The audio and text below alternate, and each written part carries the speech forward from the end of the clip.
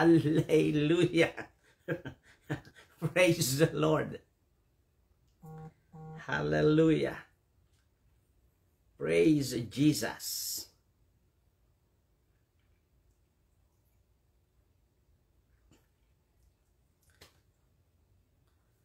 Amen.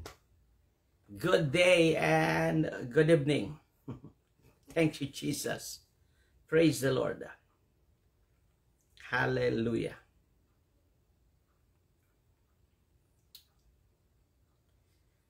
Glory to God.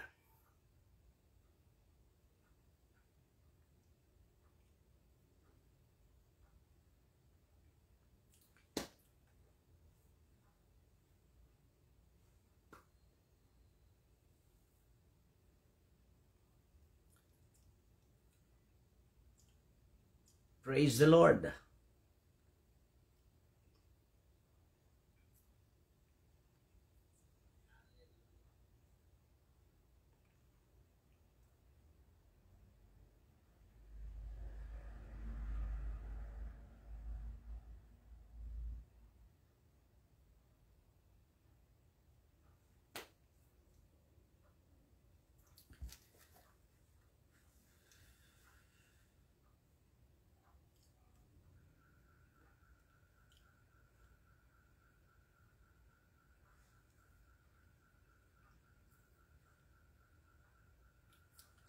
Amen.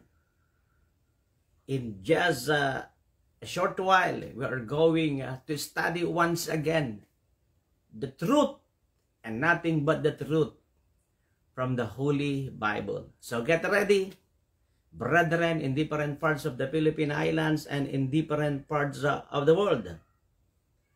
And get your Bible, get your ball, ball pen, and get your notebook and jot down the wonderful revelations of God.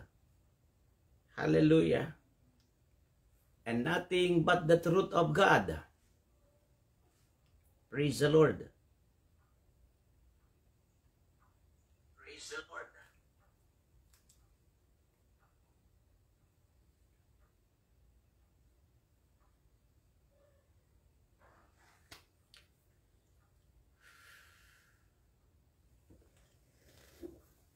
Kaya po, mga minamahal, kung uh, ready na po ang bawat isa at naniniwala akong ready ready na nga po kayo. Glory to God. Upang sa ganoon ay muling marinig ang napakagandang kapahiyagan ng Panginoon sa oras na ito. Thank you, Jesus. I know you are now ready to receive the wonderful revelation of God in this uh, very hour. Ulitin ko po ha, wag lamang pong makinig, wag lamang pong manood. Kunin mo po ang iyong Biblia, ilabas, samahan mo ako sa pagbasa. Kunin mo po yung notebook po ninyo at kumuha po ng ballpen at ilista po Kapag po ang totoong iglesia, kapag ang totoong mangangaral ang nangangaral, huwag mo lang pakinggan, huwag mo lang panuorin. Sagapin mo talaga ng lubos.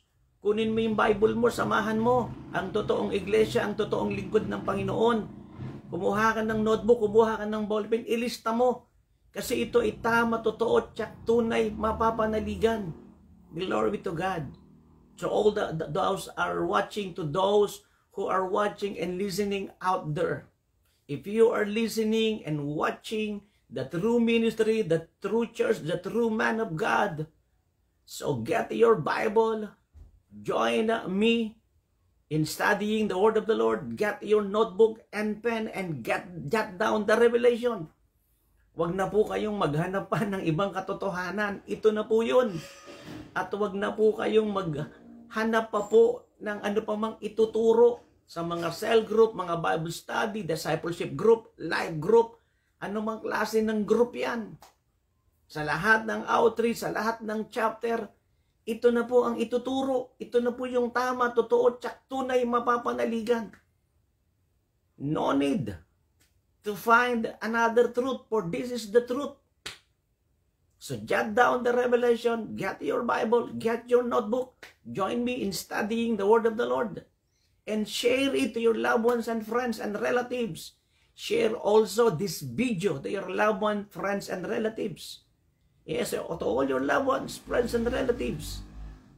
Preach this also in your cell group, in your Bible study, in your life, life group, in your discipleship, in our outreach, every outreach, every outreach and every chapter. Glory to God, for this is the truth and nothing but the truth.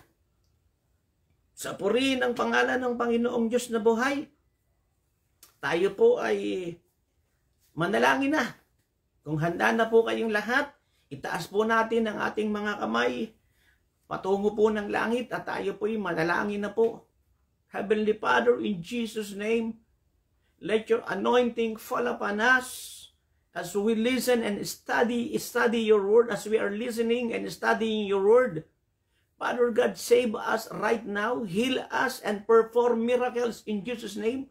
Do great and wondrous things in our lives. May we experience your goodness, your faithfulness, and bring us, Lord, to our highest calling and perfect destiny in Jesus Christ. Panginoon, kung meron kang na, nakikitang hadlang sa aming mga buhay, sa aming mga puso, linisin, banalin nyo kami, hugasan nyo kami ng inyong dugo na nabuo sa krus sa Kalbaryo.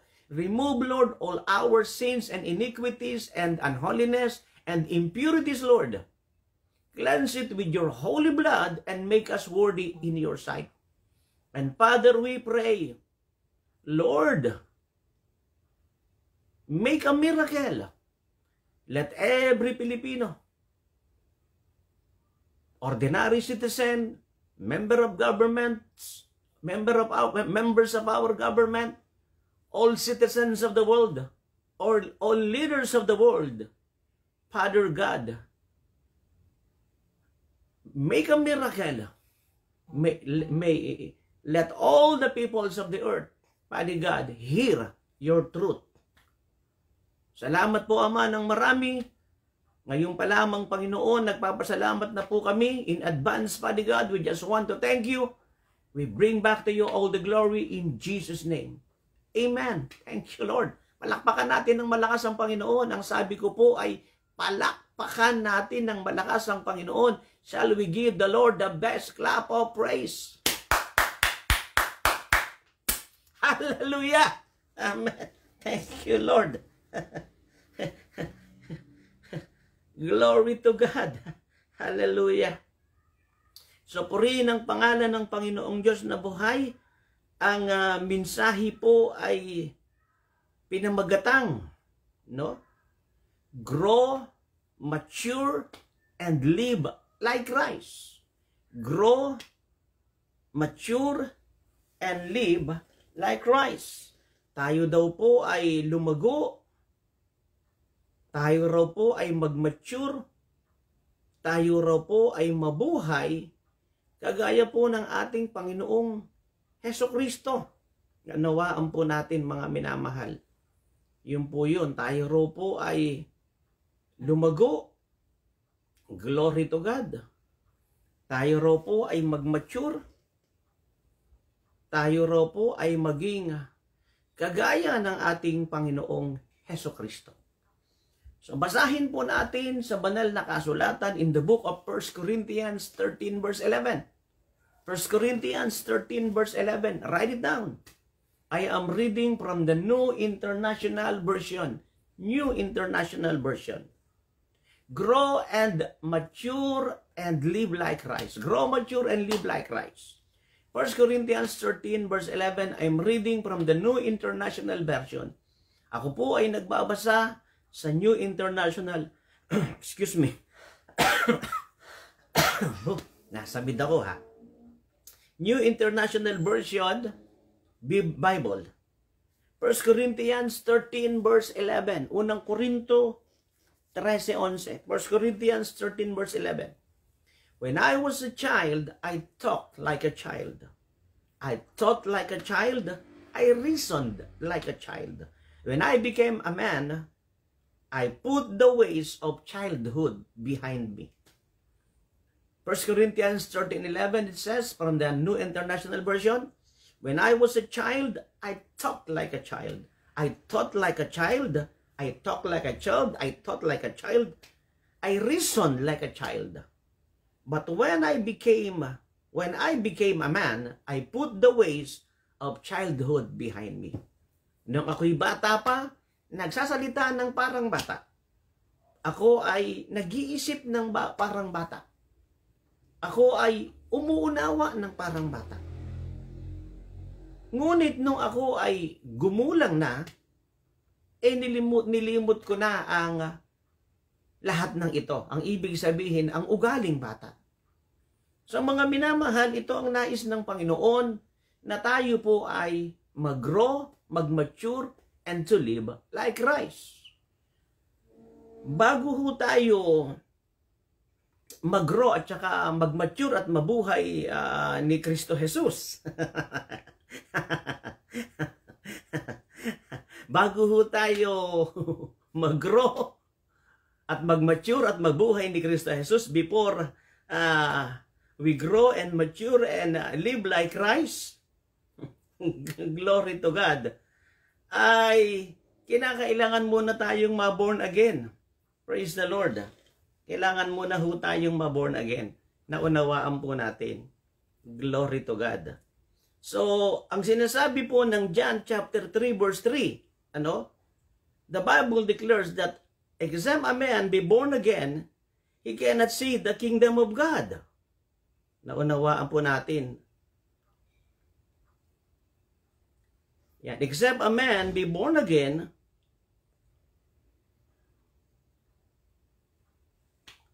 John 3.3 Except a man be born again, he cannot see the kingdom of God.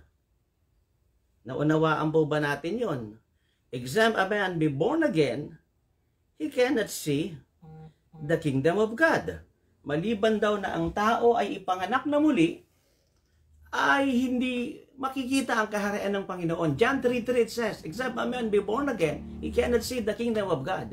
Maliban daw na ang tao ay panganak na muli, ay hindi raw po makakapasok ng langit, hindi raw po makikita ang kaharian ng ating Panginoon. Naunawaan po ba natin mga minamahal? So para makapasok ng langit at para makita mo ang kaharian ng Panginoon, in order for you to go to heaven, your name to be recorded in the book of life, in order for you to become the sons and daughters of God, in order for us to become sons and daughters of God, in order for us to be saved, we must be born again. Yun ang sinasabi ng Biblia. John 3.7. John 3.7. You and me must be born again. John 3.7. Ikaw at ako, tayong lahat, the whole world must be born again according to John 3.7. You and me, the whole world must be born again. John 3.7. From the mouth of the Lord Jesus Christ. Mismo sa bibig ni Kristo ay sinabi niya na ang tao ay dapat na maborn again, ipanganak na muli. Glory to God. Naunawaan po natin at paano tayo ipapanganak na muli? Paano ba tayo maboborn again? How are we going to to be saved, to be born again? No. Not to be baptized with the Spirit, but to be born again in the Spirit. Iba po yung ano ha, baptism with the Spirit ha. Iba po yun. Iba po yung born in the Spirit ha. Baptism with the Spirit is to be baptized with the Holy Spirit and the initial evidence is speaking in other tongues. Again, again, write it down. Baptism with the Holy Spirit is to be baptized with the Holy Spirit and the initial evidence is speaking in other tongues. Ang uh, bautismo sa Espiritu, iyon ay ang unang palatandaan na ikaw ay baptize sa Holy Spirit, na bautismohan ka sa Holy Spirit, na bautismohan ka sa banal na Espiritu, nagsasalita ka ng ibang wika. Chalala ilala ulala aya, taydayday siya. Ganon, speaking in other tongues. Naunawaan po natin, born again means, born again means, no? the Holy Spirit will live in you. You will become the temple of the Holy Spirit. Ang born again in the Spirit, it means the Holy Spirit lives in you and you became the temple of the Holy Spirit. Pakisulat mo, pakilista mo ha. Ito na po yung katotohanan. Ito na po yung ituro, ito na po ipangaral mo. Write the revelation, preach and share it to your loved one, friends, and relatives. Naunawaan po natin. Yan. Ang ipanganak na muli sa Espiritu, ang palatandaan, nagsasalita ka ng iba't ibang wika. Cholalai, lalau, lalaay, tahidahiday siya, hurakama barayande. Naunawaan po natin. To be baptized with the Holy Spirit, the initial evidence you are speaking in other tongues. To be, to be, to be uh, baptized with the Spirit, it is the beginning of receiving more spiritual gifts from God. Write it down to be baptized with the Holy Spirit, this is the starting point, the beginning to receive more spiritual gifts from the Holy Spirit. Kapag ikaw ay nabautismohan sa Espiritu, ito ay simula upang matanggap mo pa ang marami pang regalo ng banal na Espiritu. Ang Espiritu ng pagpapagaling, ang Espiritu ng paggawa ng himala, at marami pa pong spiritual gift na nakatala sa 1 Corinthians chapter 12 verse 4 hanggang 11. 1 Corinthians chapter 12 verse 4 hanggang 11. There are so many spiritual gifts that we are going to receive after the baptism with the Holy Spirit. As uh, states in 1 Corinthians 12, 4 to 11. Ilista mo, ito yung tama. Para mga Kristiyano, mga pastor at pastora, hindi kayong mali-mali. Mga leader, hindi kayo mali-mali. Oh, Christians and leaders in the body of Christ. Write this down and preach this truth. This is the truth and nothing but the truth. 2 Corinthians 13.8 it says, You have to accept the truth, stand for the truth, and fight for the truth. You cannot deny the truth. You cannot uh, win over the truth. Hindi ka mananalo sa katotohanan. Tanggapin mo ang katotohanan. Tindigan mo ang katotohanan. Ipaglaban mo ang katotohanan. 2 Corinthians 13.8. Naunawaan po ba natin mga mga minamahal? So, glory to God. So, brethren, para ikaw ay lumago at mag-matured at maging kagaya ni Kristo, kinakailangan ka munang maborn again at ipanganak na muli. At ang ibig sabihin ng born again, lista mo, lista mo, born again, born anew, born of God, born of the Spirit, born from heaven, only one meaning, has only one meaning. They are all the same. Yan, sabi nga nila sa Arabo, simsim. Lingkod ng Diyos, marunong ka mag-arabo? Oo naman, sim-sim. Ako pa. Linguistic ini. And I speak uh, many heavenly languages. Yeah. Cholalai, lalai, chaday, dai, siya. Ibang language po yun. I believe Macau yun eh. Urabakanda, larahir, bianda. Iba pa rin yun. Ayun na, hindi ko na alam kung ano yun. I speak many uh, heavenly languages. Naunawaan mo po. Glory to God. Lalo na sa pag-English, ang galing ko mag-English. Walang mali. Perfect. I am a fluent English speaker. Grammatically correct. And pronunciation are all correct. My pronunciation is very, very correct. Naunawaan po natin mga minamahal. So para ka born again, born anew, born from heaven, born of the Spirit, born of God, has the same meaning. Born again, born anew, born of God, born of the Spirit, born from above, born of God. only one meaning. They are all the same. They have they have only one meaning. Born again, born anew, born from heaven, born from above, born of God, born of the Spirit. All these phrases have only one meaning. Naunawaan po natin, isa lang po ang kahulugan niyan. Ipinanganak sa, sa, sa langit, ipinanganak sa itaas, bagong kapanganakan. Hmm. Pinanganak sa Espiritu, pinanganak ng Diyos, pinanganak ng langit, isa lang po ang kahulugan niyan. Yan. Naunawaan po natin. At ang ibig sabihin ng kapanganakang muli o pagsisilang na muli, hindi ito bautismo sa Espiritu, magkaiba po yun. Kaya ko po ito tinuturo sa inyo kasi yung mga evangelical, ang akala nila, pag ikaw ay na born again, baptized ka na rin sa Holy Spirit.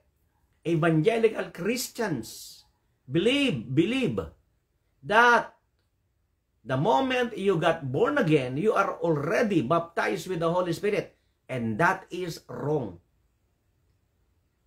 Many evangelical Christians are saying if you got born again, you are already baptized with the Holy Spirit. No. Born again of the, of the Holy Spirit is different from baptism with the Holy Spirit. Naunawaan po natin. So, naintindihan po natin. So, in order for us to go to heaven, to receive eternal life, to be assured of eternal life in heaven, to be saved, we must be born again first. Yan. So, receive Christ as our Lord God and Savior. Receive Christ as our Lord God and Savior. Write it down. John 1.12. John 1.12. Romans 10.9 and 10. Those who receive Him gave He the authority to become children of God. Those who confess that Jesus is Lord, not only from their lips, but from their hearts. Yung nagsabing si Jesus ang Panginoon, hindi lamang sa bibig, sa kanilang puso tinanggap si Christ bilang Lord God Savior ng kanilang buhay at binigyan ng karapatang maging anak ng Diyos. We are all create, created beings, but we are not children of God. But the moment we got born again, we are adopted into the kingdom of God. Tayo ay inampon sa kaharian ng Diyos.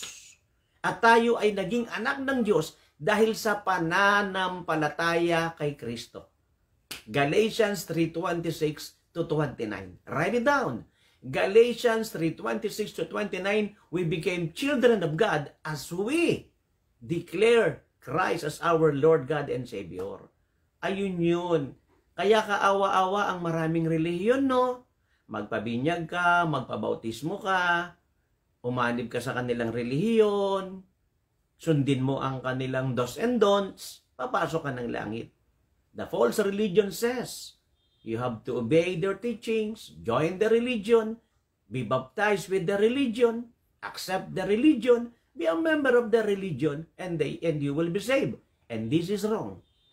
So you have to accept Jesus Christ as your Lord God and Savior, get right with God, and you will be saved. Your name will be recorded in heaven. Naunawaan po natin, e lingkod ng Diyos ako naman ay mapagbigay. Eh okay yung mapagbigay ka, pero hindi yun ang daan para ka pumasok ng langit. If you have a generous heart, that's nice. Continue to have a generous heart. But, this is not a passes in order for you to go to heaven. So you have to believe that we are all sinners. We are all sinners. Romans 3.10 Since we are all sinners, we will go to hell. And God became man in order to pay the penalty of our sins. Ang Diyos ay nagkatawang tao at binayaran niya ang ating mga kasalanan sapagkat tayo'y mga makasalanang patungo ng impyerno. Naunawaan po natin. So pag tinanggap mo si Christ bilang Lord God Savior ng buhay mo, papasok ka ng langit. If you accept Christ as your Lord God and Savior, then you will go to heaven. If you receive Christ as your Lord God and Savior, then you will go to heaven. The Holy Spirit will live in you, and the whole, yeah, your name will be recorded in heaven. And that is born again. Kaya pag may nagtatanong sa atin, di ba? Anong relihiyon mo? Wala po akong relihiyon. Ano ka? Christian. Ay kaya lang napakaraming Christian ngayon. Kuno. Kaya ang sinasabi natin kami yung mga born again Christian, Trinitarian. Hindi kami manifestation. Hindi kami oneness. Yan. Naunawaan po natin, we belong not to oneness. We belong not to manifestation beliefs. But we belong to born again Christians, Trinitarian. We believe that there is only one God but has three distinct personalities. Naniniwala tayo na iisa lang ang Diyos, pero ang Diyos na ito ay may tatlong persona. Hindi tatlong Diyos, tatlong persona. Naunawaan po natin. Yan. Tatlong Diyos, hindi. Tatlong persona, isang Diyos. Yan. Kagaya ako. Sino ba ako? Si Ricardo. Sino ba ako? Si Ricky. Sino ba ako? Si Lek. Si, Li, si Lek, si Ricky, si Ricardo, isang tao lang ba yun? Opo. At ang gandang lalaki. isang tao lang yun. Si Ricardo, si Ricky, si Lek, isang tao lang yun. Naunawaan po natin, sapagat ang tunay kong pangalan ay si Ricardo. At ang mga palayo ko ay si Lek, si Ricky. Lingkod ng Diyos, palayo niyo po ba yung Lek? Opo. Palayo niyo po ba yung Ricky? Opo. Pwede rin mo akong tawagin Cardo. Carding. Iking. Bahala ka na. Kung anong gusto mong itawag sa akin. My real name is Ricardo. But you can call me Ricky and Lek, my nicknames. But you can also call me Iking, Richard, Cardo. It's up to you. Saan ka masaya? Naunawaan po ba natin? But don't forget that I am your daddy. I am your dad. Don't forget that. I am your spiritual daddy. Gets mo po? Yan. I am not your God. I am not your Lord. I am not your master. But I am your daddy in faith. Yan. Hindi ako Diyos mo ha. Hindi mo ako Panginoon. Hindi mo ako Master ha. Pero ako ang ama mo sa pananampalataya. Naunawaan mo?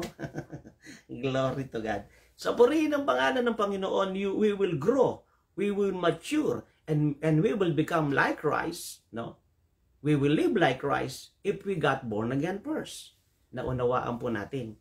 So buksan natin ang ating mga banal na kasulatan sa aklat po ng ano, 1 Peter ano pong sabi po sa aklat ng oh, ng uh, ng 1 Peter 1:23? Tingnan po natin yung 1 Peter 1:23.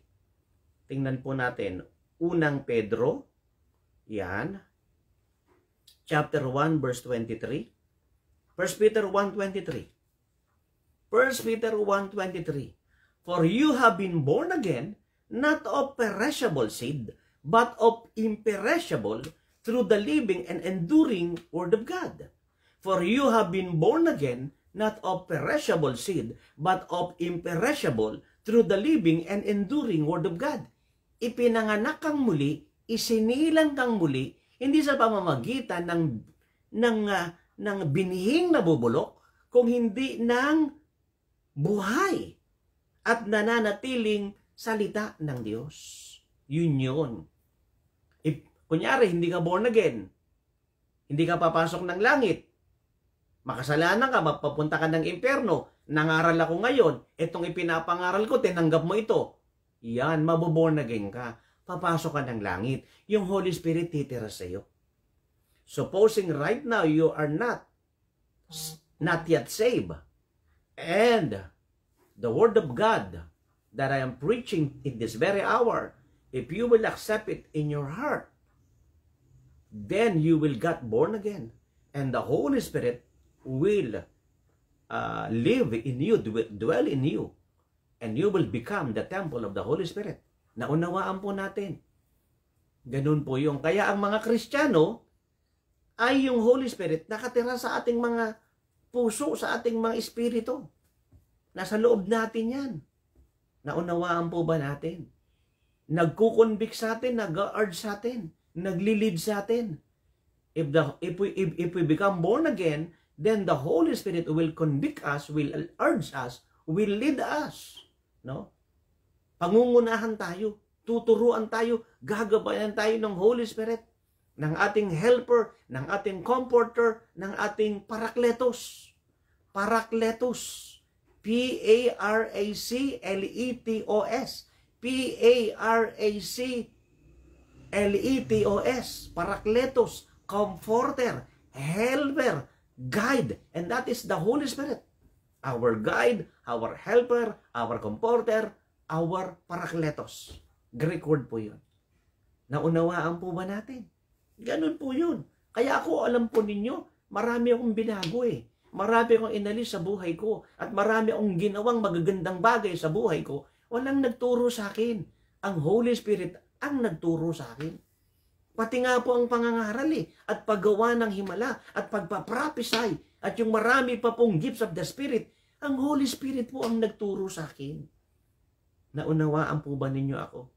Yes, the Holy Spirit teaching me to live a holy life. The Holy Spirit is teaching me to pray the right prayer in accordance to His will. The Holy Spirit is teaching me, preaching me, helping me to be used by Him mightily effectively in this final hour. Ang Holy Spirit. Iyan ang kawawa naman ng mundo, no? Hindi nila nakikilala ang Holy Spirit, no? Puro rebulto ang kinikilala nila, puro, puro mga santot santa, no? Yan ang nakikilala, nakikilala nila, mga patay na tao, no? Sasabihin nila, Santo Niño, buligan mo kami. Santo Niño, buligan mo kami. Mama Mary, buligan mo kami. Mga patay na tao, buligan mo kami. Mga santot santa, buligan mo kami. Tulungan mo kami. Ribulto, Imahin, Santot Santa, Puong Nazareno, Santo Niño, patay na tao, Virgin Mary, Mother Teresa, tulungan mo kami. Mali! Holy Spirit, in Jesus' name, for the glory of the Father, to help us. That is the right prayer. We are praying to the Father with the help of the Holy Spirit in Jesus' name. That is the right prayer. Address to God the Father with the help of the Holy Spirit in Jesus' name. That is the right prayer. Gets mo po? You got it? Naunawaan po natin mga minamahal. So, ganun po yun. Glory to God. So, mga minamahal, kaya po, pag tayo po ay na born again, dahil tinanggap natin yung salita ng Panginoon, titira sa atin yung Holy Spirit. At ang hiling ng Panginoon, na tayo ay mag-grow, na tayo ay mag-mature. Naunawaan po ba natin Tingnan natin yung sinasabi po ng 1 Peter, 1 Peter chapter 2, verse 2. 1 Peter chapter 2, verse 2, tingnan natin.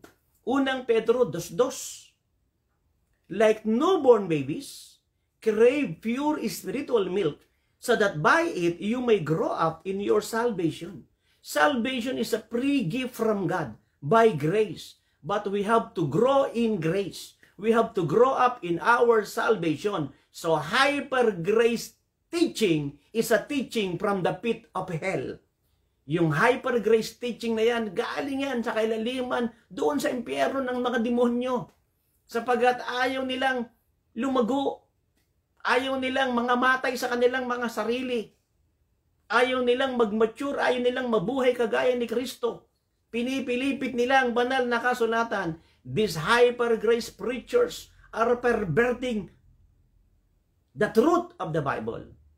You know, salvation is a free gift from God. Ephesians 2, 8 and 9. Ephesians 2, 8 and 9. For by grace you have been saved through faith, and this is not of yours. It is a free gift from God, so that no one should boast. Again, Ephesians 2, 8 and 9. For by grace you have been saved through faith, and this is not of yours. It is a free gift from God, so that no one should boast. Epeso 2, Kapitulo 8 hanggang siyam, kayo ay nangaligtas. Dahil sa awa ng Panginoon, awa, grasya, habag ng Panginoon nang kayo'y manampalataya. Hindi ito sa inyo, ito'y regalo ng Diyos para wag kayong magmalaki. Ayun yun. Kaya nga po nung naborn again ako, ang isa-isa sa paborito kong kanta hanggang ngayon, Only by the grace of my God, only by the grace of my God, I will bless your name, I will bless you Lord. Ganon. Only by the grace of my God. Ganon yun. Why have you chosen me out of millions your child to be? You know all the wrongs that I've done. Oh, how could you pardon me? Forgive my iniquities. Diba? And gave me, Lord Jesus, your Son. Sipin mo yun. I got, I got saved only by the grace of God. I became a preacher only by the grace of God. I became an apostle uh, only by the grace of God. Yeah. whatever I possess right now, whatever my family and the kingdom of Jesus fellowship, whatever we have right now, it's only by the grace of God. Amen. But the Bible declares in 1 Peter chapter 2 verse 2, grow in the grace, not stay in the grace, not fall in the grace. Hindi sinabing tumalikod ka, mag-backslide ka, manghina ka, manlamig ka. Sinasabi mag-grow ka. Hindi sinabing manatili ka. Hindi ganon. Kaya sinasabi ko sa iyo ngayon ha, may bagong aral ngayon na galing sa impyerno, yung hyper grace teaching na yan. Kaya tinuturo ko na po, sa in, ko na po ito sa inyo ngayon. Sino-sino yung mga dada, nadaya niyan? Mga pastor mismo. Mga pastor na hindi mo alam kung totoong pastor. O mga pastor na ginawa ng pastor ang mga sarili nila. Mga na inordinahan yung sarili nila sila ay mga nang-agaw lamang ng iglesia, nanira lamang ng mga totoong lingkod ng Diyos, nang divide lamang ng church.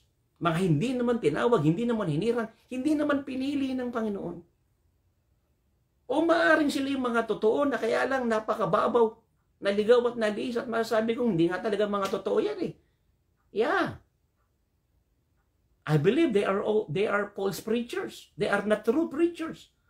Because if they are true preachers, they will remain in the truth. John 8, 31 to 32. The true disciples remain in the truth. John 8, 31 to 32. Ang totoong disipulo, nananatili sa katotohanan eh. So pag naliligaw, nalilis ang landas, palagi ko talaga mga peke yan eh. fake Christians and fake preachers. Yeah. Gets niyo po mga minamahal? Glory to God. So purihin ang pangalan ng ating Panginoon, like newborn babies, crave pure spiritual milk, so that by it you may grow up in your salvation. Kaya pastor at pastora ha, ilista mo ito. No? Ayaw ng Diyos yung hayo ka ng hayo. Tapos hayo ka ng hayo na hindi ka nagpapaalam. Ano ka, siga? Walang ganun. Tapos kung ano-ano pinagtuturo mo at hindi pa ayos ang buhay mo, ayusin mo muna yung turo mo, ayusin mo muna yung buhay mo bago ka humayo. Hindi bawal humayo eh. Pero dapat mag-ayos ka muna ng buhay. Eh. Ayusin mo muna yung turo mo. At dapat marunong kang, marunong kang magpaalam. Meron kang head eh, meron kang leader eh. You know, you have head, you had, you had, you have a head or a leader over you. You must know how to submit, how to respect your leader. If you want your uh, if you want to be respected, if if you want uh, others to submit to you, you must learn first obedience, submission, and respect. Ganun po yun eh. Oh. Ako po, ako po, may mga kuya ako, gumagalang ako sa kanila eh. Yung mga asawa nila, ginagalang ko eh. Yung mga nakakatanda sa akin, ginagalang ko eh. Oh. Tapos ikaw yung nakakatanda sa iyo sa edad at nakakatanda sa iyo sa spiritual, hindi mo ginagalang. Tapos hahayo ka? Oh my gulay. oh my gosh. Ano naman natin? Brethren, do not, I, I tell you, please do not preach if you are not right with God. Do not preach if uh, your preaching is not correct. I tell you. You are only spreading, not, not, uh, not, not blessing, but you are spreading bacteria. I tell you. So, naunawaan po natin. Like newborn babes or babies, crave pure spiritual milk so that by it you may grow up in your salvation. Ano ba yung spiritual milk na tinatawag? Ano ba yung tinatawag na bread? Ano ba yung tinatawag na mana? The Word of God. The Word of God is uh, compare to a uh, milk. The Word of God compare to a bread. The Word of God compare to a manna. Hmm. Compare to a meat. Compare to a food. So in order for you to grow in Christ, so you have to be fed continually with the Word of God. Ayun, eh ang problema ng marami. Alam mo, turo ka ng turo. Ah, pero ayaw mong magpaturo, yan ang problema. marami turo ng turo pero ayaw magpaturo. Hayo ng hayo. Hindi marunong magpaalam, hindi marunong mag-submit. Nawaan po natin. Alam mo, bago magturo, ayusin muna ang mga buhay, ayusin niyo muna yung mga pagkatao, ayusin niyo naman yung mga ugali. Oh, hindi natutuwa ang marami. Hayo ka ng hayo. Hindi ayos ang ugali mo, hindi ayos ang pagkatao mo. Hindi tama aral mo, hindi ka marunong magpaalam. Magayos ka muna ng buhay. At sa ayaw mo sa gusto, gagamitin ka ni Lord mightily, effectively. Lalo na ngayon, malapit na. At, at, at, at anumang oras, ibig kong tukuyin. Hindi lang malapit, anumang oras, darating na si Kristo. Mabay, mag-ayos-ayos ka na ng buhay mo. Grow, mature, and live like Christ. You know, Jesus Christ is coming at any moment. Brethren, be reformed, be transformed, be renewed, and be revived. Grow, mature, and live like Christ naunawaan po natin mga minamahal. 2 Peter 3.18. Shall we open our Bible in the book of 2 Peter 3.18? 2 Peter 3.18. But grow in the grace and knowledge of our Lord and Savior Jesus Christ. To Him be glory both now and forever. Amen. But grow in the grace and knowledge of our Lord and Savior Jesus Christ. To Him be glory both now and forever. Amen. Aba, lumago ka sa pananampalataya mo sa biyaya, sa awat habag. Sa pananampalataya kay Kristo na ating tagapagligtas. Kanya lamang kaluwalatian ngayon buhay at magpakailanman. Oh. Ganun po yun eh. Naunawaan po natin. So grow. Say it, grow. Grow in the Lord. Grow in Christ. After you got born again, then grow in Christ. First, you must be born again. Then afterwards, grow. Naunawaan po natin. Para lubusan pa nating uh, maunawaan, buksan nga po natin yung Titus, Kapitulo 3, Kapitulo 3. Titus 3. Titus 3. Yan. Verse 3. Titus 3, verse 3. Titus 3, verse 3. Tito 3, Kapitulo 3. Basahin po natin. Yan. Glory to God.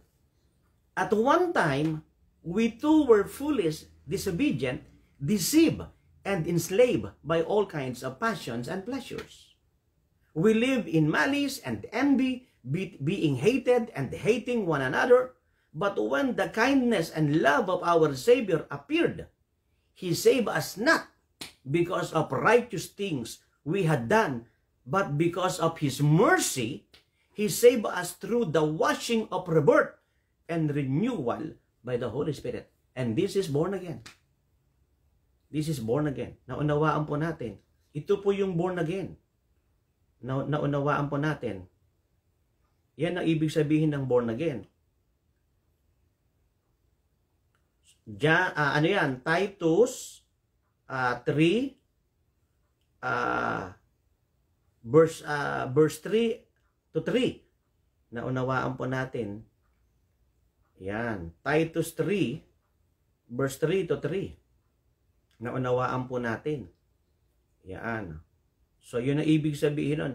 Na tayo raw po ay dati, no? Dati, pakisabi dati. Kung meron ka pa nito, hindi ka born again. Dati raw ay puno tayo ng kahangalan, foolishness. Dati raw masuwayin tayo. Dati raw ay tayo ay nadaya ng kung ano-anong mga maling damdamin, no? Maling uh, layaw at luho ng katawan. Tayo, tayo raw ay mga mali, mga malisya. Tayo raw ay mga mainggitin. Tayo raw ay namumuhi, no? At uh, nag, I mean, eh, puno ng galit, full of hatred and bitterness. Yeah. But when the kindness and love of God our Savior appeared, He saved us not because of righteous things we done, or we had done, but because of His mercy, He saved us through the washing of rebirth and renewal by the Holy Spirit. Ayun yun eh. Ito yung born again na binabago ng Panginoon. Born again means, born again Christian means, the Lord transferred you from the kingdom of Satan, from the kingdom of darkness, to the, to the kingdom of light, to the kingdom of Jesus. Kaya ang mga taga-kingdom of Jesus born again. Kaya nga gusto ng Panginoon, nasa kingdom of Jesus ka eh. Ayaw ng Diyos na wala ka sa kingdom of Jesus at nawawala ka sa kingdom of Jesus. Kasi ang mga taga-kingdom of Jesus, yan ang mga born again. Mga, yan yung may mga highest calling eh. Yan yung mga people of, people of, people of highest calling and people of destiny. Yan yun eh. yes ba po? Glory to God. So, brethren, it means born-again Christians, those who are living in sins before, but now no more. The things I used to do, I do them no more. The things I used to do, I do them no more. Ganun po yun. Yung dati kong ginagawa noon na mali, na masama, hindi ko na ginagawa ngayon. Pero ang problema eh, na sinasabi mo, pastor, pastora ka, mga, mga ngaral ka, o may gulay. hindi naman makita sa buhay mo. O may gulay. Sinasabi mong ikaw ay bishop, archbishop, reverend, mama, papa, o ano man ang tawag sa iyo. Oh. Ay hindi naman nakikita sa buhay mo. Brethren, ang mga Kristiyano, nakikita si Kristo sa buhay nila. Hmm. Gets mo po? Ako po kahapon, nak- nakipag-meeting ako sa mga batchmate ko. Eh, marami ron, hindi naman Kristiyano. Hindi nila sinasadya yun, nakakapagmura sila. Pero ako hindi ako nagmumura. At maraming beses ko lang po silang nakasama. Umiinom sila ng San Miglite, umiinom sila ng Alfonso, Johnny Walker, Pundador. Ako hindi iced tea. Anong sabi ko sa kanila? Pasensya na po kayo. Wala akong day off eh. Everyday born again ako eh. Alam nila yun. Yeah. I met my batchmate yesterday and I always met them unintentionally. They are cursing, speaking bad words unintentionally because this, this uh, is just uh, the expression of their tongue. They drink Johnny Walker, Alfonso, San Miglite, Pundador, but me only iced tea. Naunawahan po natin Why are you attending your uh, batchmate meeting, uh, man of God? To evangelize them, to help them, to bring them to the real salvation of Jesus in order for, for them to receive the healing and miracle of God. In order for them to receive the goodness of God, to experience the goodness of God, and to bring them to their highest calling and perfect destiny in Jesus Christ. That's it. Naunawaan mo, sumasama po ako sa kanila para sila maligtas tumanggap ng kagalian at himala, maranasan ng kabutihan ng Diyos, dadalhin natin sila sa pinakamataas sa tawag doon sa piling ng ating Panginoong Heso Kristo. Amen. Thank you, Lord. Glory to God. Hallelujah. Palakpakan natin sa ang Panginoon. Shall we give the Lord a best clap of praise? Amen. Amen. Sa Diyos lamang po lahat ng papuri. Amen. Thank you, Lord. Only by the grace of God and all the praises must be given to Jesus. Naunawaan po natin mga minamahal. So glory to God. So yun po yung ibig sabihin nun. No? So ngayon, tayo daw ay kinakailangang ma-born again and after we got born again, we have to grow. No? In our salvation, we have to grow up in our salvation. Naunawaan po natin. Ephesians 4.13. Ephesians 4.13. Ephesians 4.13 it says, Until we all reach in the faith and in the knowledge of the Son of God and become mature, attaining to the whole, to the whole measure of the fullness of Christ. Ephesians 4.13 Until we all reach unity in the faith and in the knowledge of the Son of God and become mature, attaining to the whole measure of the fullness of Christ. Ayun, dapat daw mag-mature at maging kagaya ni Kristo. Born again, grow, mature, and be like Christ. Be born again, grow, mature, and be like Christ. Pwedeng kantahin, no? Be born again, grow, mature, and be like Christ. Gets mo? Akin lamang pong uh, uh, medyo nilalambutan. Pero hindi ba ding ha? Para lubos nyo pong maunawa. Naunawaan po ninyo. Gets po ba natin mga minamahal? So grow, mature, and live like Christ. Ephesians 4.13. Listen very carefully. May I read Ephesians 4.11. May I read?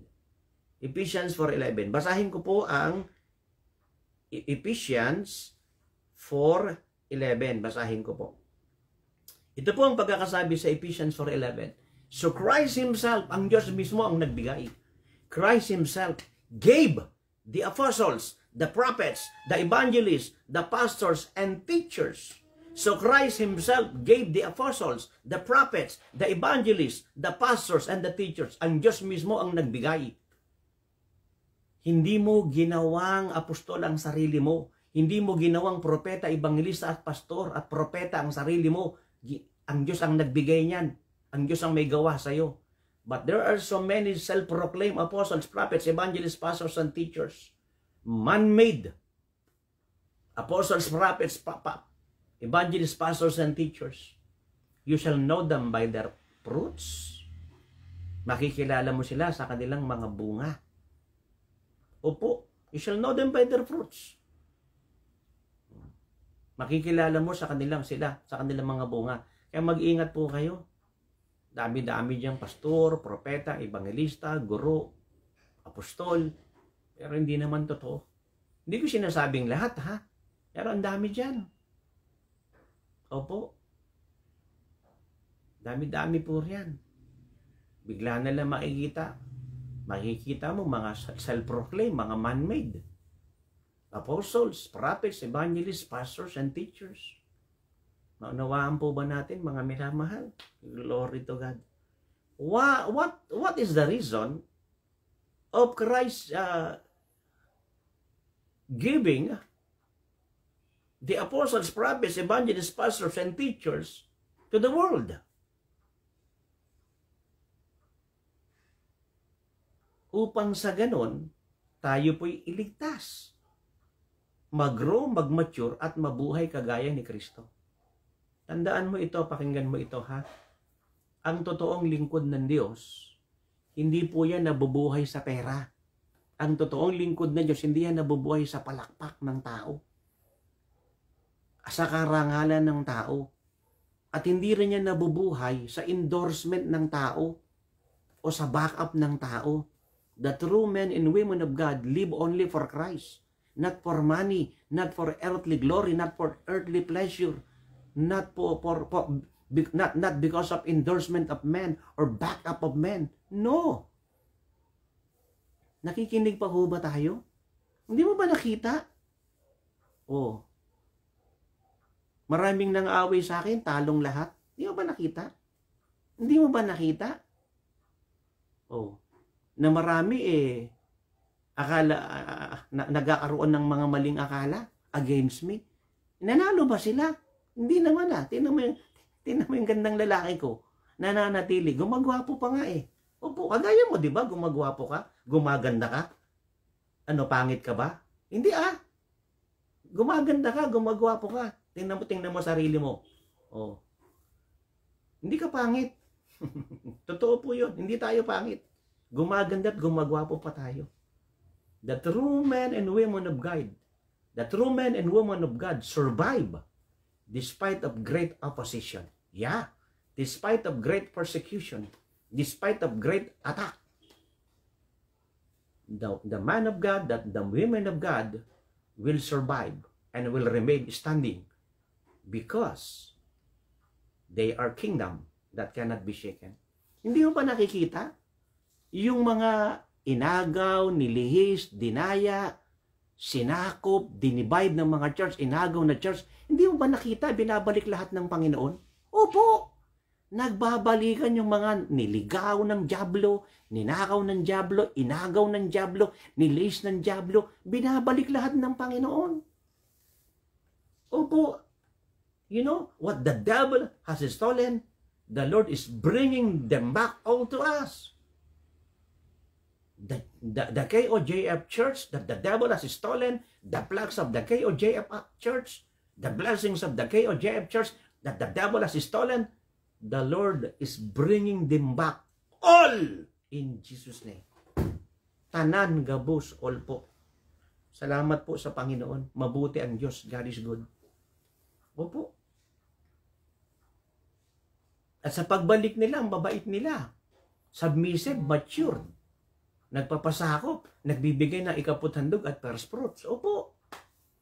Kaya hindi mo ba nakita, palaki ng palaki yung Kingdom of Jesus Fellowship, palakas ng palakas, palawak ng palawak, palago ng palago, payaman ng payaman. Nakita mo, during lockdown, during lockdown, ang daming naghihirap, pero during lockdown, namimigay tayo. We have donation drive, we have relief operation during lockdown. We have ministry of compassion during lockdown. And many are dying. Many have no foods.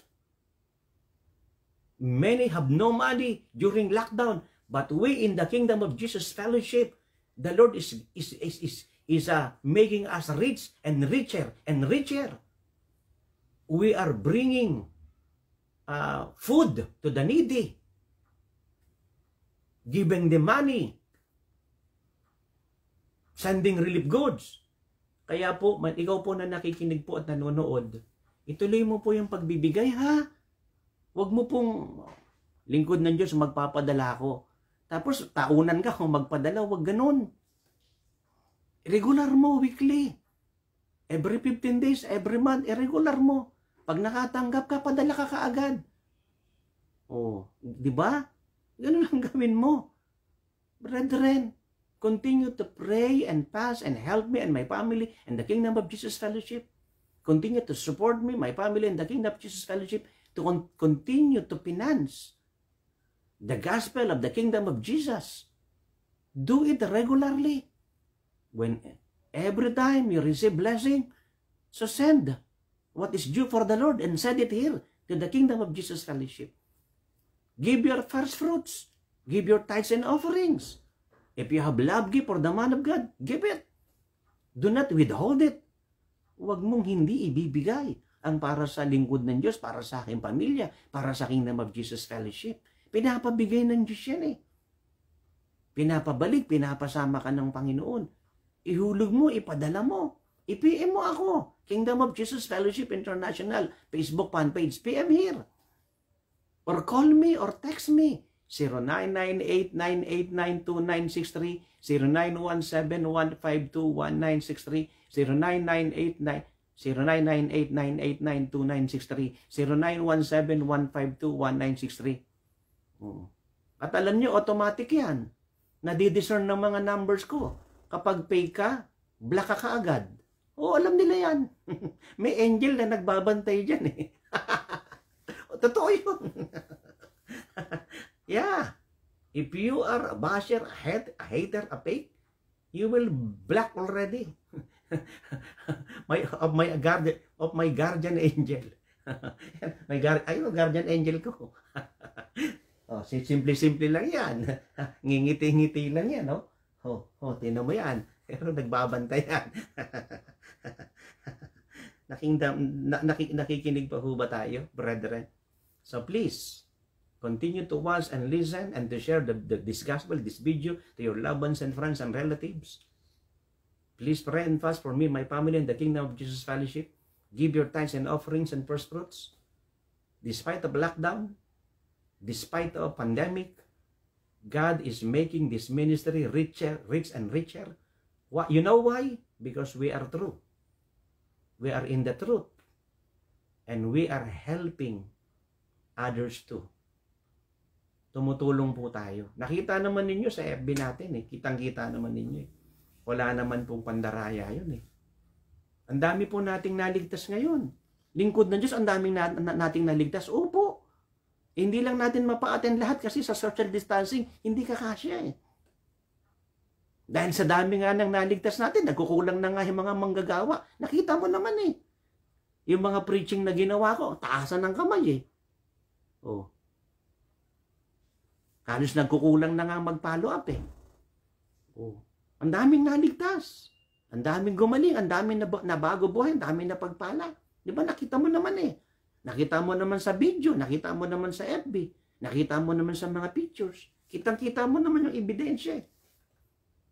You know, pictures and videos does not lie. Don't lie. Reveals the truth. Hindi po yun Photoshop ha. Hindi po yun dinat, hindi po yun cut and edited. The pictures and the videos are not Photoshop, are not edited and cut. Totoo pong lahat yun. Lahat po ng mga churches ng Kingdom of Jesus Fellowship, buong mundo, pagagandahin po natin yan. At patuloy na pagagandahin, palalawakin, palalakasin, palalaguin, pararamihin. At patuloy tayong magre-raise up ng mga totoong lingkod ng Diyos. Totoo talaga. Ayaw kasi ng Lord ng fake eh. Ayaw lang Lord ng fake. Opo. Yung fake parang totoo. Pero hindi totoo. You know, God does not want a fake. Fake is look is is uh, look like uh, the real one. But it's fake. Ayaw po ng ganoon. Ayaw po ng Diyos ng ganoon. Naunawaan po natin. Glory to God. So bago ko lang itong makalimutan ha, yung mga may birthday dyan, yung nag, nag, may mga anniversary, bumabati po kami sa inyo ha. At yun naman pong mga nawala ng mga mahal sa buhay, nasa puso po namin kayo, nasa panalangin po namin kayo. Ayan, we want to greet those uh, celebrators. Uh, a very happy birthday, blessed birthday, and blessed anniversary. But those who who are uh, in sorrow right now, right now, our prayer and deepest sympathy to you and your family. You are in our heart. We pray that the comfort and strength of the Lord Jesus Christ be with you all. Amen. Thank you, Lord. Glory to God. Hallelujah. So, mga minamahal, ang nais po ng Diyos ay maging kagaya ni Kristo, mag-mature at maging kagaya ni Kristo. Ma-born again, lumago, mag-mature at maging kagaya ni Kristo. Got born again or got saved, grow mature and live like Christ and be like Christ. 1 Corinthians 14.20 1 Corinthians 14.20 1 Corinthians 14.20 Brothers and sisters, stop, pakisabi, stop, stop thinking like children. In regard to evil, be infants, but in your thinking, be adult. Again, 1 Corinthians 14.20, Brothers and sisters, stop thinking like children. In regard to evil, be infants, but in your thinking, be adults. O mga kapatid, itigil na ang pagiging isip bata. Pagpatungkol sa kasalanan, maging inosente ka. Maging isip, maging isip bata ka patungkol sa kasalanan. Pero, sa pag-iisip mo, abay, mag-matured ka, mag-grow ka. Tumanda ka, gumulang ka. Kaya nga sinasabi ng marami, tumatanda ka nang wala kang pinagkakatandaan. Tumatanda ka ng paurong eh. You are growing backward. Sabi nga ng iba, grow up, be matured. 1 Corinthians 14.20, nakikinig pa ho ba tayo? Alam mo yung mga mature na tao, yung mga mature na tao, pag kinukorek mo yan, nagpapakorek yan eh. Yung mga immature, Ay nako, nagmamayabang yan, nagmamalaki yan, ayaw niyang magpakorek. Yung mga immature, sisiraan ka pa niyan. I-divide ka pa niyan. Mga agaw pa ng attende yan. Oh my God. Oh my gulay, sabi nga nila. Sabi nga ni, uh, ni Ella, yung anak ni Pastora Elmi. Oh my gulay. Naunawaan po ba natin? Glory to God. Ang mga mature, pag pinagsabihan mo, pinagalitan mo yan, pag nakarig ng preaching na ganito yan, hindi nasasaktan yan, hindi nagagalit yan. Pero yung mga immature, pinatamaan na naman ako, tinira na naman ako, pinapahiya ako, sinasaktan ako. Mga immature yun. Opo, yung lagi nilang, lagi nilang nasasaktan, lagi nilang sa tingin niya, pinipin, pinip, pinipinpoint siya, sinisingle out siya, hinihiya siya, minamaliit siya. You know, the, the, the, the, the, immature Christians always thinking that uh, that uh, they are they are always uh, uh, uh, you know hurting them, offending them, despising them, belittling them. But no. You know, good preaching, correction is for our maturity. Para po tayong mag-grow, para po tayong mag-mature, eh kinakailangan talaga nating i-correct eh. Opo. Ilingkod ng Diyos, handa ka bang magpa-correct? Oo naman. Oo naman. Oo. Handa rin akong mag-sorry. Handa rin akong magsabing, forgive me. I'm very sorry. okay lang. Sabihin mo sa akin kung anong mali ko. O, di ba? Sabihin ko, forgive me, I'm sorry. Di ba? I'm sorry if I broken your heart. di ba? Gets po natin, mga minamahal. So, yun ang kinakailangan natin eh. Brothers and sisters, stop thinking like little children in regard to evil, be infants, but in your thinking, be adults. Ayun po yun eh. Makinig ka pong maigi. Alam mo yung ma-born again ka? Simula pa lang yan eh. Pero yung ikaw ay mag-mature, mag-grow ka, mag, mag, mag-grow, mature, maging kagaya na ka ni Kristo, proseso yan. At kinakailangan mo ng masunuring puso. Opo, malambot na puso, mapagpakumbabang puso. You know, after you got saved, after you got born again, you have to grow, mature, and be like Christ. And it is a process. You have to obey the leading of the Holy Spirit. Yeah, you have to be uh, humble. Yeah. You have to accept your mistake and receive no condemnation. And after you repented from your sin, then move on. O, ganun ang mga mature inaamin ng mga pagkukulang, pagkakasala, pagkakamali, ihingi ng tawad, tapos na, magpapatuloy. Ganun po yun. Oh.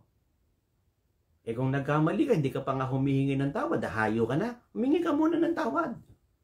Hindi ka pa nga humihingi ng tawad eh, mahayo ka na. Tularan mo muna si Haring David. Si Haring David humingi muna ng tawad eh. Ay, hindi ka pa nga humihingi ng tawad eh. Sino ba yung tinutukoy mo lingkod ng Diyos? Sino ka ba? Bahala na. kung, sino ang hindi pa humihingi ng tawad. Yeah, ask, ask forgiveness from God. Have mercy on me, O God, according to your unfailing love. According to your love and compassion and mercy, blot out my transgression. Ganun po yun. Create in me a clean heart, O God, and renew a right spirit within me. Ganun po. Brethren, in order for us to be saved, grow, mature, and live like Christ, whenever you see yourself in a mistake, in an error, in a sin, as God's forgiveness. And God's restoration will happen to you. Ganun po yun. Ihaahon, ibabangon, itatayo ka ng Panginoon. Amen po ba? Glory to God. Ito nga po ang dahilan eh. Kung bakit tayo nasa radyo, nasa television, kung bakit tayo nasa social media, kung bakit tayo sumusulat, kung bakit tayo umiikot buong Pilipinas at buong mundo, ito nga yung dahilan eh. We have radio and TV ministry. We have social media ministry. We are moving uh, all over the Philippine Island and all over the nations of the world. Because we want people to be saved, healed, prosper, receive miracle from God, experience the goodness of God, grow and mature and live like Christ, fulfill their highest calling and perfect destiny in Christ. That's it. Yun po yung pinakalayunin natin. Nakikinig pa po ba tayo mga minamahal? Hindi mo nakita sa awa ng Panginoon, hindi tayo namamahinga? Opo. Wala tayong pahinga. Ay iba na na-lockdown eh. Sabi ng iba nung lockdown, bakit hindi ka humahayo? Takot ako sa COVID eh. Marami ba di ka humahayo? Hindi ka umaaten? Hindi ka humahayo? Wala kasing pera eh. Wala kaming makain. Wala kaming ayuda. Mali po yun. Kapag totoong kristyano ka, may pamasahe, may pagkain, may ayuda. In times of crisis, God can make you very wealthy. In times of crisis, God can make you very wealthy. Read Genesis 12 and 13. Genesis 12 and 13. Despite of crisis, God made Abraham very wealthy. Genesis 26, Genesis 26. Despite of a famine, crisis, God made Isaac very wealthy. You see? Naunawaan po natin. Glory to God. Kaya para managana ka, yumamang ka, magbigay ka ng ikaputandog rito, mag-first fruits ka, mag-offering ka, sasagana ka, yayaman ka. At para ka magamit ni Lord mightily, effectively, magbalik loob ka ng malalim. Matuto kang magbasakop, magpailalim, magpaalam ka. Gagamitin ka ni Lord mightily, effectively. I-remit mo yung dapat i-remit. Sabi ko nga sa mga kapatid, may, may mga may nakuha kayong tithes offering first fruits, hindi inyo, ipasok nyo yan, hindi yan inyo eh. Kung para sa inyo, para sa inyo. At kung sakasakali may inabot na labki para sa akin, o sino pa man, eh wag niyong kunin. Hindi sa inyo yan eh. Huwag niyong bawasan, huwag niyong kupitan. Hindi sa inyo yan eh. Ngayon, kung sakasakaling emergency na gastos ninyo at kailangan yung gastusin, sabihin lang ninyo. Walang problema.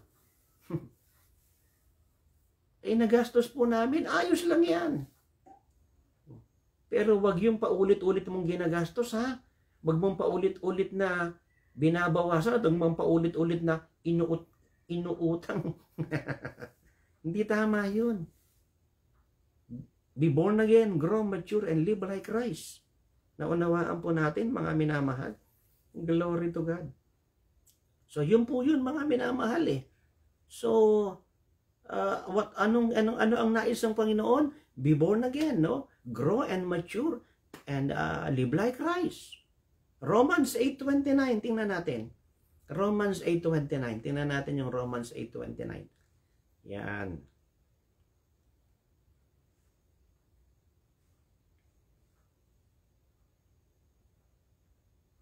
Nasusundan po ba ninyo ako? Yeah, Romans 8.29. For those God foreknew, He also predestined to be conformed to the image of His Son, that He might be the firstborn among many brothers and sisters. For those God foreknew, He also predestined to be conformed to the image of His Son, that He might be the firstborn among many brothers and sisters. Alam mo, merong relihiyon eh, na ang paniniwala nila si Kristo, maliit na Diyos. Si Jehovah, malaking Diyos. Ang, turo, ang, ang, ang, ang, ang akala nila, yung firstborn, unang nilikha ng Diyos. Hindi po ang unang nilikha ng Diyos, si Adan, hindi si Kristo. At si Kristo ay hindi nilikha ng Diyos. Juan 1.1 hanggang 3. Juan, Juan 1.1 hanggang 3. Siya ang manlilikha. At napakaraming bersikulo sa Biblia na si Kristo ay hindi nilikha, siya ay manlilikha. Colossians 1.15, siya mismo yung Diyos na hindi nakikita, siya yung Diyos na nagkatawang tao. Siya yung Diyos na hindi nakikita nagkatawang tao. Colossians 1.15. He, he is the image of the unseen God. He is not a created being. He is a creator. John 1, 1 to 3. John chapter 1, verse 1 to 3. John 1, 18. He is the invisible God. God manifested in the flesh. 1 Timothy 3.16. 1 Timothy 3.16. Write it down. Hmm. Siya po yung Diyos sa nagkatawang tao. Hindi siya panganay na nilikha. Hindi po ang ibig sabihin, siya ang unang nagbangon mula sa mga patay. Sa pagiging kristyano natin, siya yung uh, tinutularan natin, ginagaya natin. Yun ang ibig sabihin ng firstborn. Firstborn means the first who resurrected from the grave. The first who received heavenly body. Celestial body. That is the, the meaning of firstborn. Naunawaan po natin. Panganay. Hindi nilikha. Panganay saan? Sa nagbangon mula sa mga patay. Mga panganay na tinutularan natin na maging kagaya niya tayo. Kaya ang tunay na church ay nabubuhay kagaya ni Kristo. Hindi nabubuhay kagaya ni Judas. Hindi nabubuhay kagaya ni Demas. Si Demas, backslider yun. Si Judas. Judas yun. Lingkod ng Diyos. Pwede po ba na kasakasama ni Kristo, bandang huli hindi nakasama ni Kristo? Pwede po ba nakasama po nila Apostol Pablo, bandang huli hindi na po kasama? Opo. Di ba ganyan din ako? May mga kasama ako noon, di nakasama ngayon. Di ba? Natural lang yon. Oh.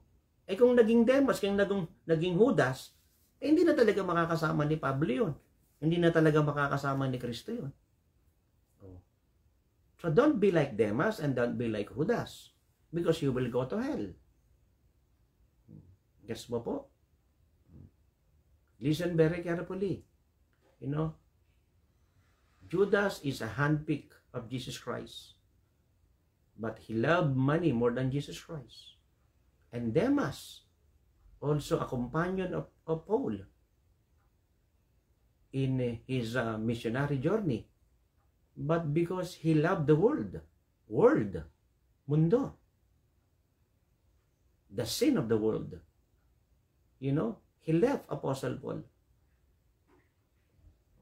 Naunawaan po natin. Ganun po yun eh. Kaya Ah, sa totoo lang, nakakalungkot talaga eh. Na may mga naliligaw, nalilihis ng landas. Tapos ang yayabang pa, na akala mo sila ang tama. Lipat ng lipat kung saan church. Nangaagaw ng Diyos, naninira ng mga totoong lingkod ng Diyos, nangaagaw ng tupa ng may tupa. Dami niyan eh. You know, many, many, many false Christian are ordaining themselves, man-made stealing plaques, stealing church from the true men and women of God, slandering the true men and women of God. Nakikinig pa ho ba tayo? Hmm. Nakakaawa po. Kaya ako'y nahahabag sa kanila eh. Kaya ang prayer ko, Panginoon, yung mga taong ito, mga nagsisito ng kasalanan, balik loob to sa Panginoon, mag-mature na ito eh. Darating ka na, anong oras? Mga immature pa rin ito hanggang ngayon. Kikinig pa ho ba tayo? Hmm. So brethren, grow, be born again. And after you got born again, grow mature and live like Christ. Yun ang nais ng Panginoon, mga kapatid ko. Naunawaan po natin. Kaya tingnan mo ang sarili mo. Kung hindi ka pa born again, ma-born again ka po. Tapos, hingin mo yung kagalingan ng Lord, himala ng Lord, kasaganaan, tagumpay, ibinibigay ng Lord lahat yan. Hingin mo na magamit ka ni Lord mightily effectively in this final hour. At yung pagkakagamit sa iyo ng Panginoon, base sa maturity mo yan eh. Makinig ka po sa akin na payo, po, kahit payo ko po ito sa iyo ha. Hindi tinitingnan ng mga tao at ng Diyos kung gaano ka, gaano ka kagaling mag-English at gaano kang kagaling mangaral. Kung gaano ka kagaling mag-post at send ka ng send ng mga verses and mga message. Hindi yan ang tinitingnan ng Diyos at ng maraming tao. Ang tinitingnan ng Diyos at ng maraming tao, nagbago ka. nag-grow ka, nag-mature ka, at nabubuhay ka kagaya ni Kristo. Yun ang nais ng Panginoon. At marami rin naman nagsasabing nabubuhay sila kagaya ni Kristo. Pero di naman naman yung mga ugali. Ugali. Ugaling hudas. oh my God. Sabi nga na Ella, oh my gulay. Ikinig pa ho ba tayo? Pretending that living like Christ. And yet, no. Pretending like, uh, uh, pretending uh, uh, as Christian, but not. Pretending as man and woman of God, but not. Hmm. Naunawaan po natin. Maganda yung nagpo-post ka ng Word of God. Eh kung hindi naman rema, post ka ng post. Nakakaawa. Nakakaawa. Awang-awa ako sa maraming post ng post. Hindi naman rema. Share ng share, send ng send ng message. Madaling araw, send ng send. Tulog pa yung mga tao. Oh my God! Huwag po kayong magagalit. Ayusin yung mga buhay ninyo. Ayusin yung pagkatao. Ayusin yung ugali. Hmm. Kikinig pa ba tayo? Bashers and haters are not accepted. Trolls are not accepted. Persecutors are not accepted. Humble heart are welcome. yung mga malalambot, mapang, pusong mapagpakumaba, yan ang tinatanggap. Pero yung mga persecutor, mga basher, mga hater, hindi po tinatanggap yan, mga minamahal. Pusong dalisay ang aking nais, nalikhain mo para sa akin. Isang pusong tapat na sa'yo'y nagmamahal. Ganun dapat. A pure heart, that's what I long for. A heart that follows hard after you. Ganun dapat. Oo, oo. Di ba? Makinig po kayong maigi sa akin ha. Warning po ito. Mag-aral ka ng mag-aral at hindi mo lagyan ang tawag mo, hindi ka gagraduate. Maniwala ka sa akin. Ang dami ko nang binigyan ng prophecy. Aral ka ng aral na hindi mo nilalagyan ng tawag mo. Study and study and study but you are not fulfilling your calling. You will not graduate. Even though you will graduate, you shall not prosper. Find a job, a good job, a best job. Put up a business. But if you will not fulfill your calling, you shall not prosper. Yeah. Brethren, seek ye first his kingdom and his righteousness, and all these things shall be added, uh, shall be added unto you.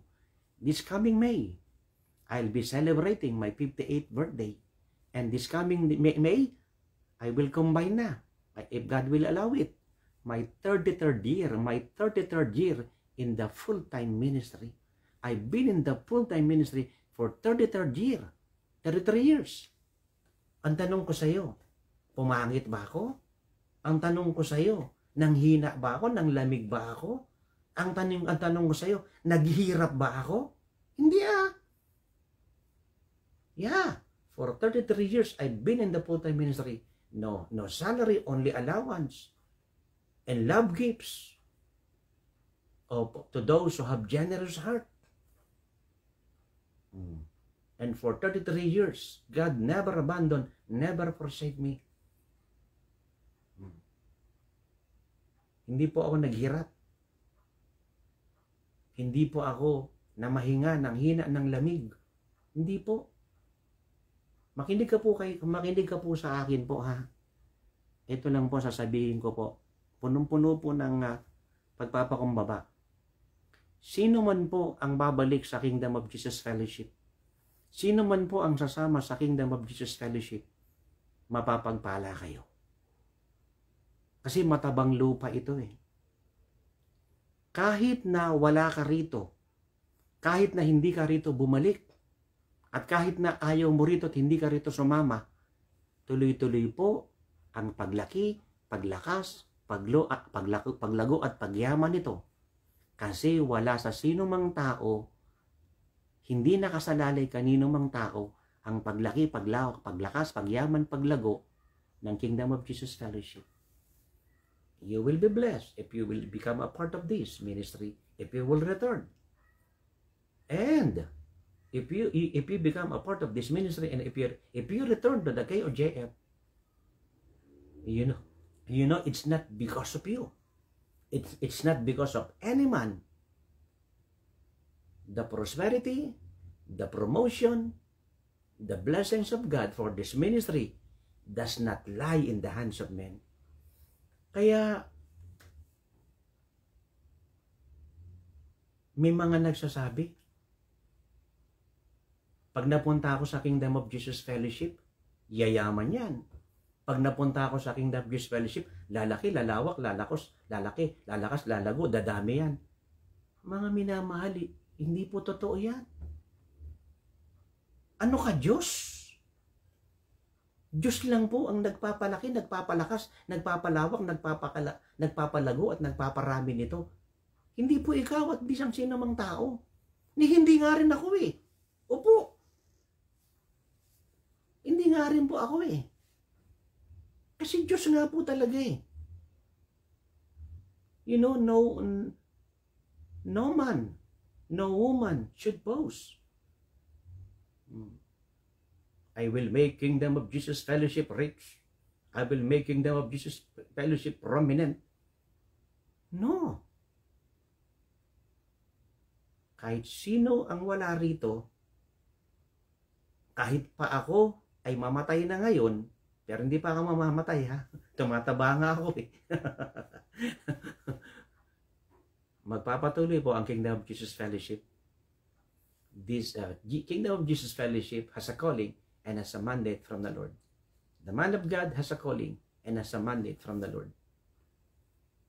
We will bring the Philippine Island and the nations of the world, including the body of Christ, here in abroad, to the real salvation of Jesus, in order to, for them to receive miracle and healing from God, to experience the goodness of God. We will bring the Philippine Island, the nations of the world, and the body of Christ into their highest calling and perfect destiny in Jesus Christ. Hindi niyo po ba naririnig yung pagpapakilala sa akin palagi? ang lingkod ng Diyos na ginamit noon, ginagamit ngayon at patuloy na gagamitin ang liwanag noon. The man of God that was used by God before and the Lord continually using at present using by God at present and God will continually use him mightily effectively. Nakita mo yun? Ang liwanag po ng pagpapakilala eh. Ngayon po ay i-welcome, taas po natin ang ating dalawang kamay patungo ng langit, yumuko tayo at pumikit. I-welcome po natin ang malakas sa presensya ng Diyos sa kanyang lingkod na ginamit noon, ginagamit ngayon at patuloy na gagamitin. Ang liwanag nun eh. Kaya walang, hindi pwedeng sabihin ano eh. Hmm, ako na ako ako ako ako ang nagpapayaman sa likod ng Diyos. Ako nagpapayaman sa KOJF, ako nagpapalaki niyan, nagpapalawak, nagpapalakas, nagpapalago niyan. Hindi po. Ni ako nga po, walang nagawa rito eh. Opo, Diyos lang talaga lahat. Lagi nga akong lumulod, umiiyak, kumakagulgol eh. Ito po yung totoong totoo. Alam niyo po bang bago po ako nangaral ngayon, lumuhod po ako dyan sa semento? Tiles po yan eh. Yung noo ko, sinayad ko po sa semento yung mukha ko, sinasahid ko sa semento yan. Kahit yung maganda yung kasukotan ko, dumada pa ako. Opo. Kasi sinasabi ko sa Panginoon, Lord, ang bait mo po. Napakabuti mo po. You know, to tell you frankly and honestly, to let you know, before I preach, I lie down before the pavement. Yeah. I kneel, I kneel before God, even lie down before God. Thanking God. I am just like a colt. Colt, C-O-L-T. Asno. Yung asnong sinakyan ni Jesus, ganun lang naman ako eh. Ganun lang naman tayo. Asno lang tayo na sinakyan ni Jesus. Jesus need a colt. You know, the colt is only an instrument. I am just like a colt. Instrument by God. John 1.4, In Him was life, and this life was the light of men. Gusto mo bang pumasok ng langit? Kailangan mo si, His, si Jesus. Gusto mo bang gumaling, tumanggap ng himala? Kailangan mo si Jesus. Gusto mo bang ma-restore at makabalik sa ministry? Kailangan mo si Jesus. Gusto mo bang magamit ni Lord mightily, effectively in this final hour? Kailangan mo si Jesus. Magpatawad ka, magbago ka, magtiwid ka ng landas. Maglinis ka, magayos ka, magbago ka, magpatawid ka, magpakorek ka, humingi ka ng tawad, magsorry ka, Huwag sisiga at siga. Huwag nagmamatapang at huwag nagmamataas. Puro mispeto. Gumalang, magpasako. More of this sa Sunday ha. Umaten po kayo 10 a.m. and 2 p.m. Number 60, 60 Ezekiel Street, Concepcion 1, Marikina City. 10 a.m. and 2 p.m. Live. And at the same time, you are watching in abroad, in province on, or uh, you are uh, you cannot attend because you are in a far place, you can watch through live stream. So, like, share, and subscribe KOJF Church YouTube channel, Kingdom of Jesus Fellowship International Facebook fan page. Watch and listen. That's Said the Lord program. Programs. Pakinggan, panuorin ito ang sabi ng Panginoon. Programa. I-like, share, i-follow, i-subscribe, KOJF Church YouTube channel, Kingdom of Jesus Fellowship International Facebook fan page. May mga gawain tayo, may mga kapatiran tayo buong mundo. Ang ating main church, nandito tayo ngayon sa 6060 Ezekiel Street, Concepcion 1, Marikina City, malapit sa Rusty Lopez Department Store. Oh, 10 a.m. And, and 2 p.m. Attend. And give your tithes, offerings, and first fruits and be a part of a true ministry, an apostolic ministry, called and mandated by God in this final hour. Yung pong mga hindi po nagbibigay na ikaputandog, eh, magbigay po kayo. At yung mga, lalo na kung gusto nyo pagpalain, magpaspros kayo. Kung kayo ay nagbigay at tinigil ninyo o pa, pautay-utay, paputol-putol, eh, wag po ganoon. Ituloy-tuloy po ninyo para lalo kayong pagpalain. Lingkod ng Diyos, pag hindi ba kami magbibigay sa KOJF, hihina ang KOJF, mali. Ikaw ang hihina pag di ka nagbigay. para lumakas ka at managana ka, lumago ka at magamit ka ni Lord mightily effectively. So give. Ganun po yun mga minamahal. Hindi kailangan ni Jesus ang tao. Ang tao ang nangangailangan kay Jesus. Jesus is uh, he don't need any man but all man in this world needs needs Jesus. All men needs need Jesus. Naunawaan po natin kaya sa oras na ito aminin mo kailangan mo si Jesus. Kailangan kailangan natin si Jesus. Thank you Lord taas po natin yung ating dalawang kamay patungo ng langit Sige po, umamin tayo. Shall we lift our buttons to Jesus? Yan. Kung puro ka umalis ka sa ministry, hindi ka gagraduate, I tell you. At makagraduate ka man, walang mangyayari. Trabaho, negosyo, iniwanan mo ang ministry, hindi ka magpa-prosper. 33 years na po akong full-time.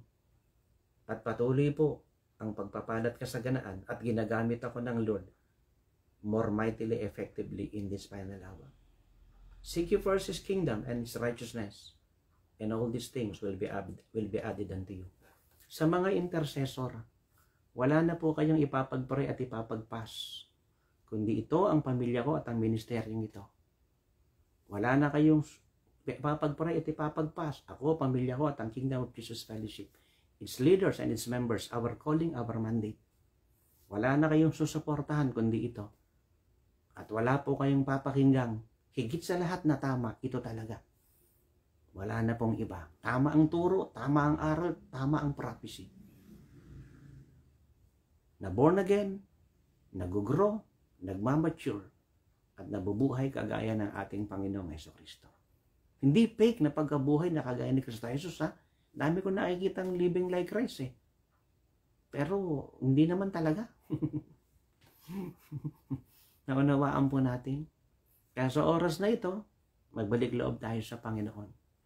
Father God, In Jesus' name, through the power of the Holy Spirit, we admit that we need you. You don't need us, but we, we need you. Cleanse us, forgive us, change us, convert us, transform us, revive us, Lord, until we become like you. Revive us to grow mature and become like you.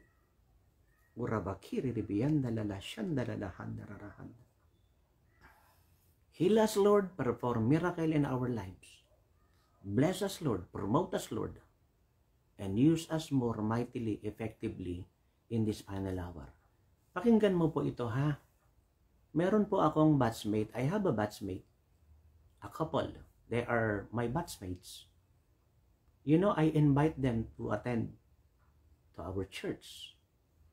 You know, I had a prophecy that there will be promotion. You know, they accept the prophecy and they testified to me after they received the prophecy. The husband who is not uh, regular in his job became regular. Mag-asawang batchmate ko, inimbitahan ko po sa church natin. Sila po yung nakadalo. May prophecy po ako na mayroong promosyon. Tinanggap nila yon. At hindi po regular yung lalaki sa trabaho, naging regular po ang laking pasasalamat nila. Purihin ang pangalan ng Panginoon. Receive your salvation now. Receive your healing now. Receive your success, blessing, and prosperity now. In the mighty name of Jesus Christ, the Son of the living God. Receive the press touch of the Holy Ghost. Receive the press touch of the Holy Spirit. Let the blind see, the lame walk, the deaf hear, the mute speak in Jesus' name. And those who are possessed and being influenced by the devil, depressed and oppressed by the devil, stressed by the devil, be set free in Jesus' name. Let them receive their freedom in Jesus' name. Those who are in bankrupt, those who are in uh, uh, bank, bank, bankruptcy, those who are in poverty, those who are in debt, be set free, be delivered in Jesus' name. The Son of the Living God urarabakanda lalabashiri ribiyanda rarahanda urarabashanda urababashanda sililiyanda rarahanda rarahanda. Sa ayaw mo sa gusto. Mananatili ka sa Kingdom of Jesus Fellowship. Sa ayaw mo sa gusto. Babalik ka sa Kingdom of Jesus Fellowship at hihikayatin mo pa silang lahat sa Kingdom of Jesus Fellowship. Aanib ka sasama ka sa Kingdom of Jesus Fellowship. Whether you like it or not you will remain you will return here in the kingdom of Jesus fellowship, at the kingdom of Jesus fellowship, and you will encourage more to be to attend, to give, to return, to be a part of this ministry. And as you are doing all these things, the Lord will bless you more, strengthen you more, will reveal Himself to you more. You will succeed more, and you will be victorious more. in Jesus' name. Uraraba kandararaba shiriribiyanda iriribisyanda. Sige po, sa lahat po ng mga nakikinig at nanonood, damandama ko yung malakas sa kapangyarihan ng Panginoon eh. Sige po, hipuin kayo ngayon, tanggapin ninyo ngayon ang malakas sa kapangyarihan ng Diyos. Yeah, you know, here, yeah, uh, as I sit here, you know, the strong presence of God is enveloping me, is so awesome. Glory to God. So it it is a, it is also happening wherever you are in right now, wherever you are right now. So receive the Holy Spirit. Receive the Holy Ghost. Be baptized in in the Holy Spirit. Urabakanda rababshanda. Speak in new tongues. In the mighty name of Urababashanda. In the mighty name of Jesus Christ, the Son of the living God. Yes, Lord. For he who began a good work in us will bring it to completion in Jesus' name. Ikaw na nagpasimula ng maganda sa aming buhay, tatapusin mo, mo po ito hanggang wakas. Marami pong salamat, Panginoon. Ano man pong meron po sa amin, ano pong nangyayari sa aming magaganda, mabubuti, lahat po ng aming ginagawa, lahat po ng aming natatanggap na mga magaganda at mabubuti. yung kami po ay pasaganain, payamana, payamanin nyo at gapitin nyo more mightily, effectively in this final hour. Awat habag nyo lamang po yan. Sa inyo po lahat galing yan. Thank you God, our salvation, our healing, our miracle, the goodness that we experience, the, the, the blessing that we enjoyed, that we are being enjoyed, all the promotion, all the success, all the victory, you are using us mightily effectively in this final hour. Father, it's only by the grace of your God. Take all the glory, Father. Receive all the praise. In Jesus' mighty name. Amen. So, kayo po ay mag-PM sa akin. Please PM me. Uh, share me your good testimony. Mm-mm. If you have question, if you have prayer requests, if you need counseling, just PM me. Kingdom of Jesus Fellowship International. Yan. Facebook. And you can uh, call or text at 0998 9892963 0917-152-1963 0917-152-1963 0998-989-2963 There are so many, many ways to send your tithes, offering, first fruits in BDO. Uh, yung China Bank, inaayos pa, pa natin yun, ang alam ko. Nagka-pandemya, kailangan ayusin. Sa BPI, GCash, Palawan, LBC, Western Union, Cebuana Lugulier, M. Lugulier. So many, many ways to send your tithes, offerings, and your first fruits, your love gifts, your pledge, your promise to God, There are so many, many ways. Or you can bring it personally as you attend. Nakikinig pa ho ba tayo? So sa lahat po ng mga nakikinig at nanonood, so I just want uh, to thank you all for being a part of this ministry. So thank you for your uh, love, care, concern, prayer, and fasting for me and my family and the Kingdom of Jesus Fellowship, its uh, leaders and its members. Glory to God. So, pansamantala lamang po mga minamahala, ang ating live streaming ay Wednesday and Friday, 5 p.m. at Sunday, 10 a.m. and 3 p.m. Pero sa actual service po, alas 2 po, nagsisimula na tayo ng hapon sa ating pong main church.